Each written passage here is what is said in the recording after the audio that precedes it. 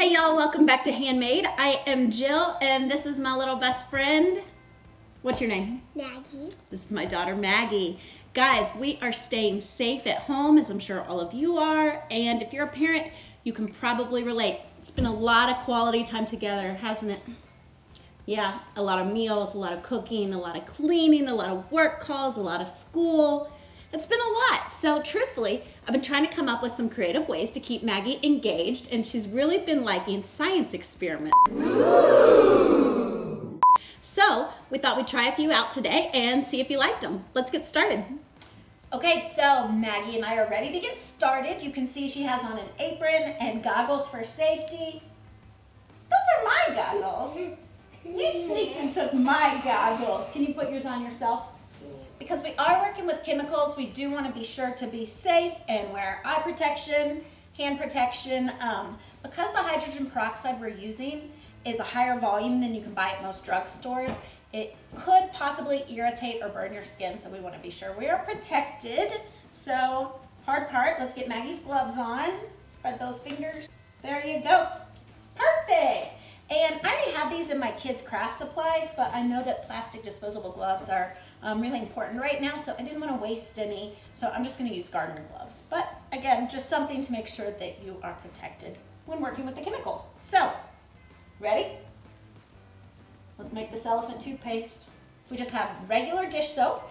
And how old are you, Maggie? Four. Four. So maybe let's do four drops in there, okay? Good job. You want to do it to mommy's bottle too? Okay? For you? Yeah, do, let's not tell how old I am. Let's do four. Next step. This is a job for mommy. This is my hydrogen peroxide. And I'm going to add half a cup to each. So I'm just going to go ahead and pour one cup. But this is the whole reason we're wearing gloves and stuff. Very carefully. Let's see. All right, so you said you're going to do stripes. Mm-hmm. What color food coloring do you want? Um, I'm gonna do pink and purple. Pink and purple, that'll be beautiful. Good idea. Okay, so I've got pink and purple for you. Mm-hmm. I'm gonna do blue.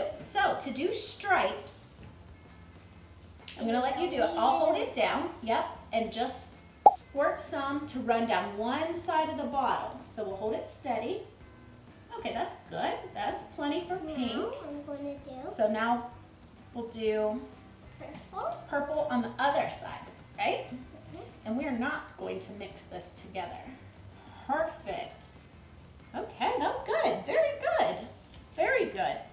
Mommy is gonna do, I'm gonna do blue. I, I, I do Sure. Go ahead and give me five drops in there.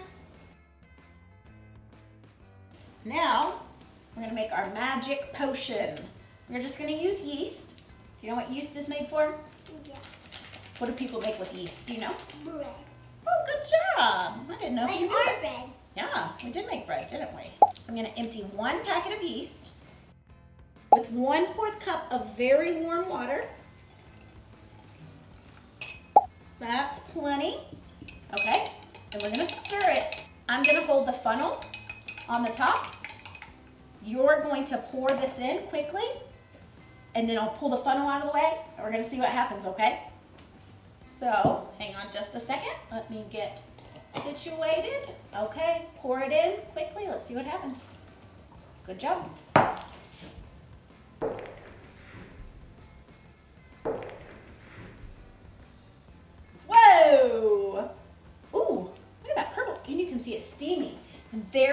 You do not want to touch it until it's completely cooled off. It's pink. That looks beautiful.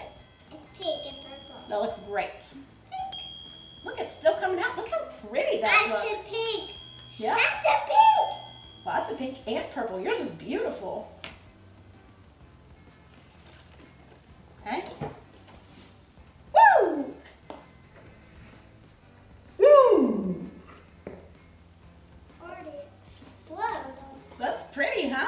Shot high.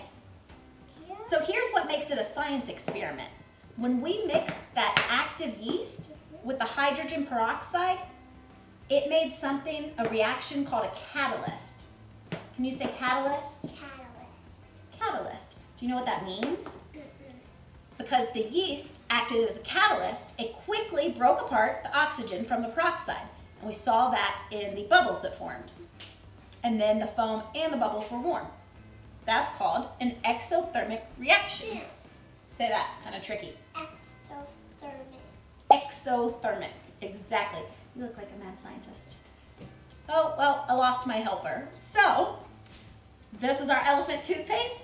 Looks awesome. We're gonna clean this up and we are gonna get ready to start our lava lamps. And we're gonna go on a walk.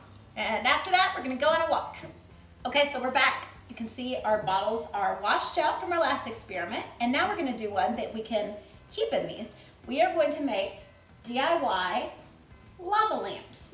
And this is a great beginner science project, and it's also a really good one to do right now because you probably actually already have most of the ingredients or the supplies in your house. Again, recycled plastic water bottles, vegetable oil, yeah, set it by yours, we'll use it next, food coloring, and antacid tablets. So, all we're gonna do first, Maggie and I both have one cup of tap water, and we are gonna choose one color each. Which color, Max? I think I'm gonna do orange since it looks like lava. Oh, I love that idea. Okay, there's your orange. I think mommy is gonna do, I wanna do purple, I think. Okay, so, can you count to 20? Mhm. You're gonna add 20 drops in your water. That's kind of a lot, huh? Careful, okay.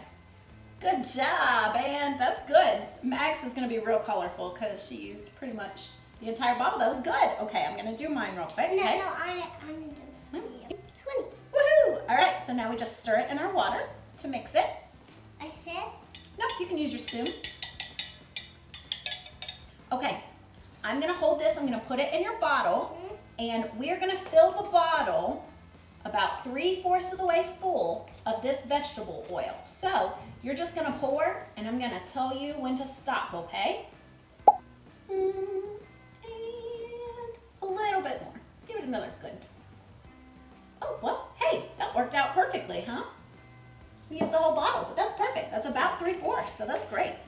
Get that out of the way. Now we put the food Hang on coloring. one second. Mommy's gonna do the same. So we have our oil. Now we're gonna pour in our colored water. Oh, see how it's already, you see the pretty bubbles in mommy's? But, see how it's all going to the bottom? That's good. That's good. Look how pretty already. Now here comes the magic part. These are antacid tablets. People use these if they have an upset tummy or heartburn or something like that. But it's made with something cool. It's gonna make a really neat bubble thing. So that's one. So can you break it into some pieces? Drop a piece in and let's see what happens. Just one at a time. What happened? See all the bubbles start to go up? Look how cool. Huh. Isn't that beautiful? going back down. How beautiful is that? You wanna do mine? Do it in mine. Oh, it's so pretty. So here's the science part of it again. I told you at the beginning, water and oil didn't mix, right? You saw the oil at the top and all the water, like right now, floated to the bottom, right? But these little tablets, these are made of sodium bicarbonate and citric acid. When those mix with the water, it makes carbon dioxide. Do you know what carbon dioxide is? No.